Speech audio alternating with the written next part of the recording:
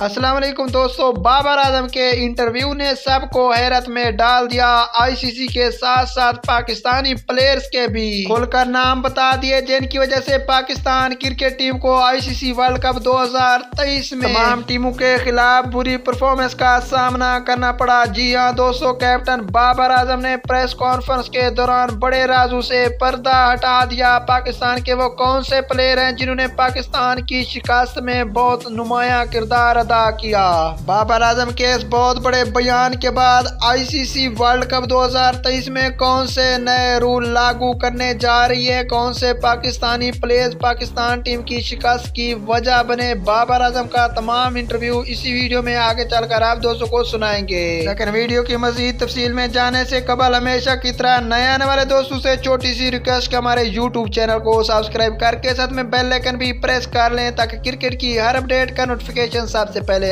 आप दोस्तों तक पहुँच सके। जी हाँ जैसा कि आप में से अक्सर दोस्त जानते हैं कि पाकिस्तान और साउथ अफ्रीका के मबैन खेले जाने वाले मैच में अंपायर के बहुत से मुतनाज़ फैसले देखने को मिले और मैच के बाद प्रेस कॉन्फ्रेंस के दौरान पाकिस्तानी कैप्टन बाबर आज़म ने इंटरव्यू के दौरान बताया कि पाकिस्तान टीम की हार की मेन वजूहत पाकिस्तान टीम के कुछ प्लेयर्स हैं जो कि मैच के दौरान उनका फोकस गेम की बजाय कहीं और होता है और ना ही वो अच्छी फील्डिंग कर पाते हैं और ना ही वो बॉलिंग बॉलिंग में कुछ अच्छी कारकर्दगी दिखा रहे हैं। रोज खेले जाने वाले मैच में अंपायरों के रॉन्ग डिसीज़न के ऊपर पाकिस्तान टीम के कैप्टन बाबर आज़म का कहना था कि पाकिस्तान टीम आज मैच जीत सकती थी, लेकिन अंपायर कॉल की वजह से पाकिस्तान को जीता हुआ मैच अपने हाथों से गंवाना पड़ा, जिसके बाद आईसीसी ने बड़ा ऐलान करते हुए कहा कि आने वाले मैचेस में आईसीसी की तरफ़ से अंपायर कॉल को खत्म किया जा सकता है और नए रूल लागू किए जाएँगे।